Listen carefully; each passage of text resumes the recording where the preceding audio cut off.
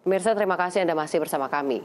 Walmart Inc. menetapkan target sekitar 65 persen dari toko-toko lainnya akan dilayani secara otomatis pada 2026. Hal ini diungkapkan hanya beberapa hari setelah mereka mengumumkan rencana PHK terhadap 2.000 karyawan. Dalam pertemuan investor tahunan raksasa retail asal Amerika Serikat di Tampa, Florida, Walmart mengumumkan targetnya terkait 65% tokonya yang akan dilayani secara otomatis pada akhir tahun fiskal 2026. Diketahui Walmart semakin banyak menggunakan toko besarnya untuk menangani pengiriman pesanan online dan banyak berinvestasi dalam otomatisasi untuk mempercepat pemrosesan pesanan di fasilitas pemenuhan e-niaga.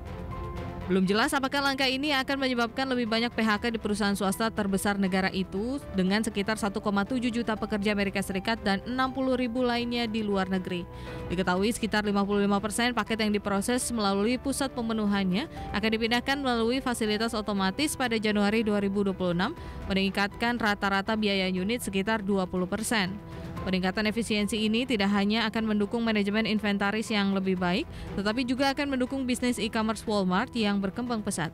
Walmart mempertahankan perkiraannya untuk tahun fiskal yang berakhir pada 31 Januari 2024 yang menyerukan penjualan bersih naik 2,5 persen menjadi 3 persen dan pendapatan sebesar 5,9 dolar Amerika Serikat hingga 6,05 dolar Amerika Serikat per saham. Berbagai sumber IDX Channel.